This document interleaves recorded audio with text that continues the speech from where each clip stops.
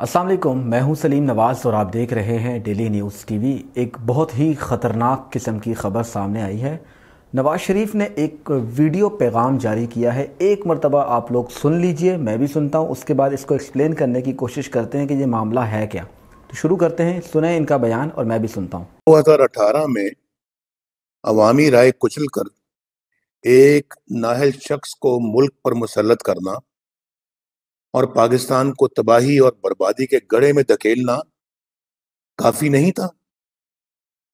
Senate election में हकूमती उम्मीदवार की शिकस्त के फ़ौरन बाद जिस तरह आपने एतमाद का वोट लेने में अपने सिलेक्टेड की दोबारा मदद की, क्या वो किसी से ढका छुपा है?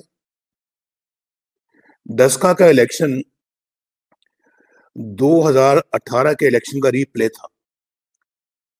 जिसमें धांधली के सारे रिकॉर्ड तोड़ दिए गए। और फिर कहते हैं कि हमें सियासत में ना घसीटा जाए। वाह! पाकिस्तान के जमहूरी निज़ाम और अखलाकियात को पाँव तले रोनते हुए आप इस हद तक गिर चुके हैं कि पहले आपने कराची में चादर और चार दीवारी को पामाल किया रात के वक्त मरियम नवाज़ के होटल के कमरे का दरवाज़ा तोड़ा और अब उन्हें धमकी दे रहे हो कि अगर वो बाज ना आई तो उन्हें स्मैश कर दिया जाएगा। मरियम जिस जुरत और ईमान के साथ अवाम की हक हुक्मरानी और वोट को इज़्ज़त दो की जंग लड़ी है इनशाला उनकी हिफाजत अल्लाह करेगा। मैं खुदाई लहजे में धमकियाँ देने वालों को तंबी करना चाहता हूँ कि अगर किसी ने कोई मजमूम हरकत की तो उसके जिम्मेदार इमरान खान के अलावा जनरल कमर जावेद बाजवा, जनरल फैज हमीद और जनरल इरफान मलिक होंगे। जो कुछ आपने किया है और करते चले जा रहे हैं ये संगीन जुर्म है, जिसका आपको बहुत जल्द हिसाब देना पड़ेगा इनशाला जी तो ये वीडियो मियाँ मोहम्मद नवाज़ शरीफ, पाकिस्तान के सबक वज़ी अजम की जानब से जारी की गई है। वो इस वक्त भगोड़े हैं, मुजरम है। पाकिस्तान और पाकिस्तान के इदारों को बिलखसूस इस हकूमत को, बिलखसूस बुजदार सरकार को, इधर की जो हकूमत पंजाब है और इसका जो सेहत की जो वजारत है, उनको धोखा देकर इस मुल्क से मियाँ साहब पाकिस्तान से चले गए हैं। कह, ये कह कर गए कि जनाब, मैंने वहाँ पर अपना इलाज करवाना है और कुछ दिनों तक मैं वापस आ जाऊँगा। आज तक मियाँ साहिब एक मरतबा भी किसी भी हॉस्पिटल नहीं गए। इनके प्लेटलेट्स का इशू था और इसी इशू को यहाँ मीडिया पर उछाला गया। जियो न्यूज़ हर इदारे ने तकरीबन मियाँ साहब की भरपूर मदद की। इन सहाफ़ियों की वजह से, इनके प्रेशर की वजह से 24 न्यूज़ के प्रेशर की वजह से हुकूमत जो है ब्लैकमेल हुई। इमरान खान ख़ुद ब्लैकमेल हुए, जो कहते हैं, मैं कभी ब्लैकमेल नहीं होता, ये है तो वो है। और ये ब्लैकमेल हुए जनमन हुए। और उसके बाद मियाँ साहब को बाइज़्ज़त तरीके से एक बड़े, खुले, ज़बरदस्त किस्म के जहाज़ में बिठाकर मुल्क से फ़रार करवा दिया गया। उसके बाद आज तक मियाँ साहब लंदन में किसी भी हस्पताल में अपना इलाज करवाने के लिए नहीं गए। ये तो पहली बात है, ये सब लोगों को बहुत अच्छी तरह पता है।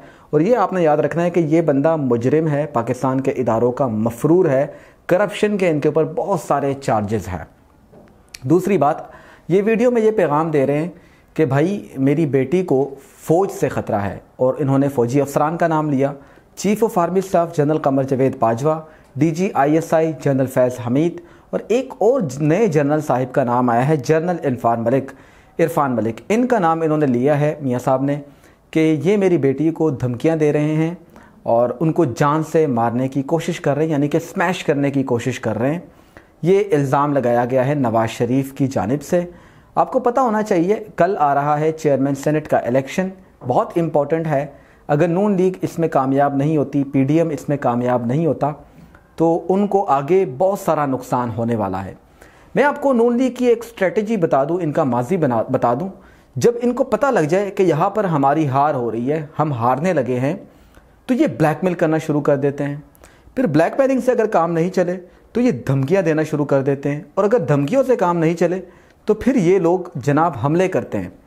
आपको शायद एक जज याद हो, जस्टिस कयूम कभी आप गूगल पर सर्च कर ले के या यूट्यूब पर सर्च कर ले के जस्टिस कयूम ऑडियो रिकॉर्डिंग ये हाई कोर्ट के जज थे इनको अपने दौर में शबाज शरीफ साहब ने फ़ोन किया और फ़ोन से इनसे फैसले लिखवाते थे कि जनाब बेनज़ीर को इतनी सज़ा दो, जरदारी को इतनी सज़ा दो, हमारे एम एन ए को जनाब इतनी सज़ा दो या इतना जुर्माना करके उनको आप ज़मानत दे दो।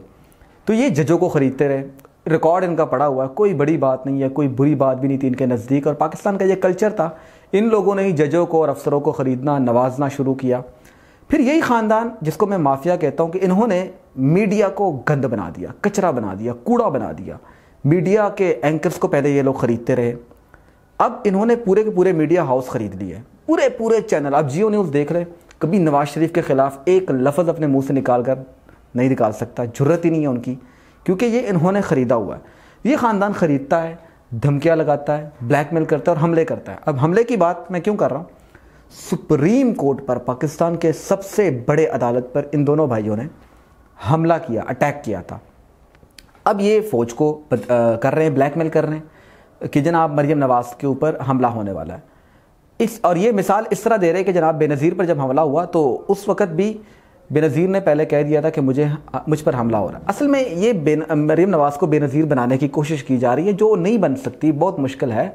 बेनज़ीर की स्ट्रगल, बहुत बड़ी स्ट्रगल है। बेनज़ीर को तो इसके बाप ने, यही नवाज़ शरीफ जो अभी जमूरा बना हुआ है, और यही बिलावल जो एक साथ बैठे हुए शर्म नहीं आ रही इन लोगों को। इसकी माँ को इस बंदे ने टैक्सी कहा, इसकी नानी की नंगी तस्वीरें बनवाई। फिर इसके नाना को फांसी चढ़ाने में जो इसका किरदार रहा, उसकी फांसी पर, भुट्टो की फांसी पर, भुट्टो भुट्टो की शहादत पर। ये लोग तो मौत कहते हैं, मैं शहादत कहता हूँ, उसकी शहादत पर ये लोग नाचते रहे, मिठाइयाँ बांटते रहे।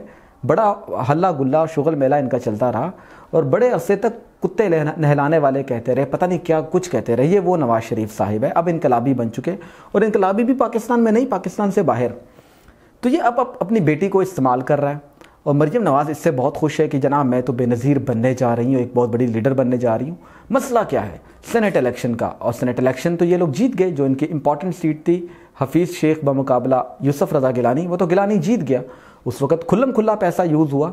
तो तब फ़ौज कहा थी? तब आपने फ़ौज का नाम नहीं दिया तब आपने कहा कि ये जो लोग वोट ख़रीदते हैं वोट की इज़्ज़त को ख़रीदते हैं आपने क्या उनको एक्सपोज किया? मियाँ साहब ने एक बार उनका नाम लिया अपने मुँह से? नहीं लिया। तो ज़्यादा है। अब इधर आगे कल इलेक्शन होने जा रहे हैं सेनेट के। हुकूमत का जो नुमाइंदा है चेयरमैन सेनेट के लिए वो सादिक संजरानी है। अपोजिशन की जानब से जनाब यूसुफ रज़ा गिलानी साहिब है। तो इनको पता है कि हमने यहाँ पर हार जाना है, क्योंकि यहाँ पर भी पैसा चलना है। जो मर्ज़ी हो जाए पैसा चलेगा ज़रूर। नून लीग के सात आठ लोग अपना ज़मीर बेच देंगे और वो चेयरमैन सेनेट को वोट कास्ट करेंगे, क्योंकि ये खुफिया वोटिंग होगी।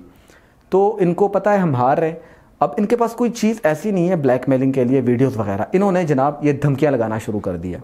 तो अब ये एक नए जनरल साहब का नाम लिया कि इरफान मलिक। अब यार, पाकिस्तान की फ़ौज या खुफिया एजेंसी अगर कुछ ऐसा करना चाह रही है, पहले तो ऐसा कर नहीं सकती कि अपने सियासी लीडरों को मारना। माजी में जो हुआ, हो गया। लेकिन अब फ़ौज की स्ट्रेटजी कम्प्लीटली तब्दील हो चुकी है, बहुत ज़्यादा तब्दील हो चुकी है। तो अब ये लोग इस तरह ब्लैकमेल करना शुरू हो गए। अब आपने देखना है कि ये सहाफ़ी, ये नून लीगी जितने इनके चैनल्स हैं, ये सारे इसको सपोर्ट करेंगे और मरियम नवाज़ को एक नहत्ती लड़की साबित करने की कोशिश करेंगे, एक बड़ी लीडर साबित करने की कोशिश करेंगे। मामला कुछ नहीं है। मामला इनको खौफ है कि चेयरमैन सेनेट बन गया तो उसके बाद बहुत सारे कवानीन पास होंगे और हमारा कुछ नहीं बचेगा। दूसरी बड़ी बात इसमें यह है, मैं आपको क्लियर कट बता देता हूँ कि मरियम नवाज़ ने अपनी सर्जरी करवानी है। अब ये सर्जरी फेस की है, ये गले के अंदर कोई इनकी बीमारी है, जो भी है, मुझे नहीं पता, क्योंकि मैं उनका डॉक्टर नहीं हूँ, मेरे पास कोई सबूत नहीं है। अलबत्त ये कहा जाता है, उन्होंने अपने फेस की सर्जरी करवानी है, जो शायद गलत भी हो, ऐसे उनको इल्ज़ाम लगाने के लिए, बदनाम लगा, करने के लिए, ये ये प्रोपेगेंडा तहरीक इंसाफ की जानब से किया गया, और मैं भी, हो सकता है तो उन्होंने अपनी सर्जरी करवानी है, ख़ुद ऐलान किया कि मैं जाना चाहती हूँ लंदन। लेकिन हुकूमत ने कहा हुआ है कि भाई, जो मर्ज़ी हो जाए, जो मर्ज़ी आ जाए इस्टेब्लिशमेंट भी हमें कह दे, हम तुम्हें मुल्क से बाहर जाने नहीं देंगे। उसकी वजह यह है, एक तुम्हारे वालद को जाने दिया, उसके बाद वो वापस नहीं आए।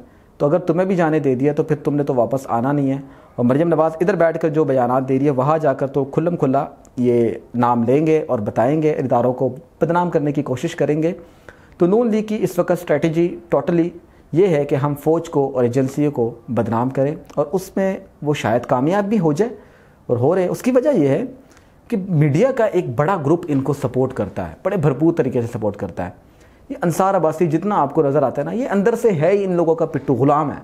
शाहजेब खानजादा से लेके हामिद मीर से लेके ये सारे इन, इनके इनके पाले हुए हैं इन्होंने इनसे पैसे का है बाकी आप इलेक्शन कमीशन के फैसले देख ले किसी भी इदारे का फैसला आप देख लें सारा इनके हक में आता है। तो ये इदारे जो इन्होंने खुद जन्म दिए हैं, खुद पैदा किए, खुद इनको बड़ा किया, इनको पाला पोसा है तो ये कैसे इनके खिलाफ जा सकते? तो एक मरतबा फिर से मैं आपको बता दूँ कि ये कोई बड़ी बात नहीं है। लोग इसको बड़ा प्रेशराइज कर रहे हैं कि बहुत बड़ी बात हो गई है, मरियम नवाज़ को कत्ल करने की धमकी दी जा रही है और जनरलों के नाम लिए जा रहे हैं। ये नून लीग ने पहली मरतबा नहीं किया, बहुत मरतबा किया ये वही नून लीग है जिनको ये ज़ियाउल हक लेके आए। ज़ियाउल हक की अगर सबसे बड़ी गलती थी मेरी नज़र में तो यही इन लोगों को आगे लेकर आना था। खैर, अब इनको भुगतना पड़ रहा है और ये भुगतेंगे और भी भुगतेंगे, क्योंकि ये इससे आगे जाने वाले हैं और कई हाथ आगे जाने वाले हैं। लेकिन मैं आपको बता दूँ कि ये सारा इनका सिर्फ़ और सिर्फ़ वजारत उस्मा, कुर्सी कुर्सी की दौड़ है, कुर्सी की जंग है। आज मरियम नवाज़ को प्राइम मिनिस्टर बना दिया जाए, ये सारे के सारे इस फौज की ऐसी तारीफ़ करेंगे कि ऐसी तारीफ़ इमरान खान ने भी आज तक नहीं की होगी। बहुत बड़ी गेम होने जा रही है इस मुल्क के साथ। आने वाला वक्त आपको बहुत कुछ दिखाएगा और हम भी आपको बताते रहेंगे, लेकिन फिर कहता हूँ कि ये कोई बड़ी बात नहीं है। टोटल सियासी गेम है, और ये गेम मरियम नवाज़ के लिए बनाई जा रही है कि ताकि वो मुल्क से बाहर चली जाए, अपना इलाज करवा ले या वहाँ पर अपने वालिद के साथ बैठ जाए। बहुत शुक्रिया। आपकी जो भी राय हो कमेंट सेक्शन में अपनी राय का इजहार ज़रूर कर सकते हैं। चैनल को सब्सक्राइब नहीं किया तो सब्सक्राइब करें। डिस्क्रिप्शन में मेरा दूसरा चैनल है, उस पर भी मैं बात करता हूँ। खुले अंदाज में वो भी ज़रूर सब्सक्राइब करें। सलीम पख्तून के नाम से उस चैनल का नाम है। अल्लाह हाफिज़। पाकिस्तान हमेशा जिंदाबाद।